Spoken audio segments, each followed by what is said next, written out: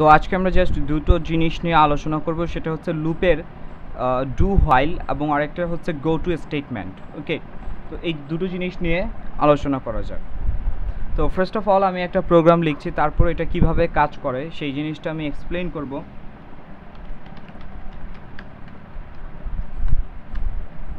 Dot H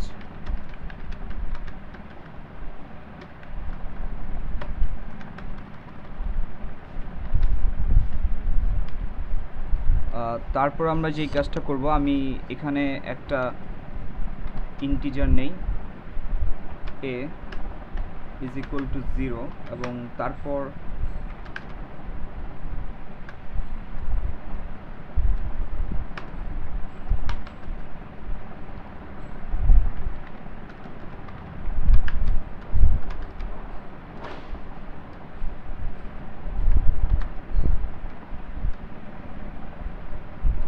এর মান বাড়িয়ে নিচ্ছি এক।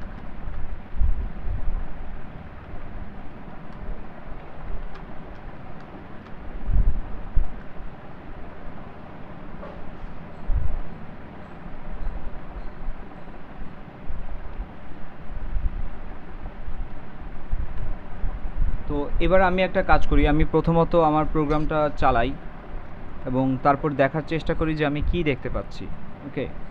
সো আমার মনে হয় কোথাও ভুল হয়েছে। আমি এখানে সেমিকোলন দেইনি একটা। ওকে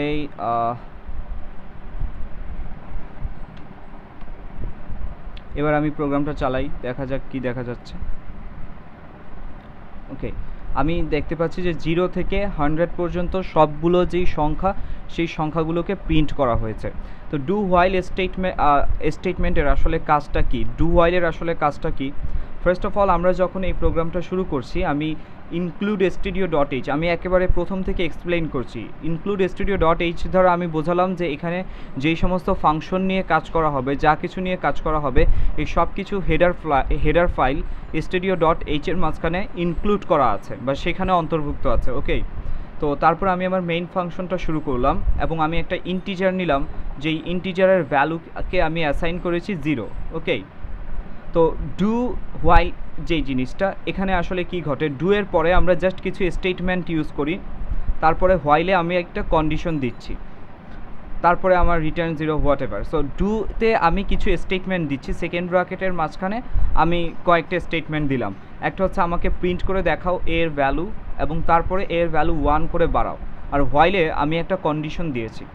সো যতক্ষণ পর্যন্ত হোয়াইলের কন্ডিশনটা ইয়েস থাকবে রাইট থাকবে, ততক্ষণ পর্যন্ত আমার ডু এর ভেতরের সেকেন্ড ব্র্যাকেটের ভেতরের কাজটা হতে থাকবে। সো কি হইল প্রথমে? ফার্স্ট অফ অল আমার ইন্টিজারের ভ্যালু এ হচ্ছে জিরো এর মান হচ্ছে জিরো তারপর সেটা ডুয়ের ভেতরে প্রবেশ করল প্রিন্ট এফ এর ভ্যালু তুমি প্রিন্ট করো সো সেটা প্রিন্ট করেছে। তারপর এর ভ্যালু ওয়ান বাড়লো।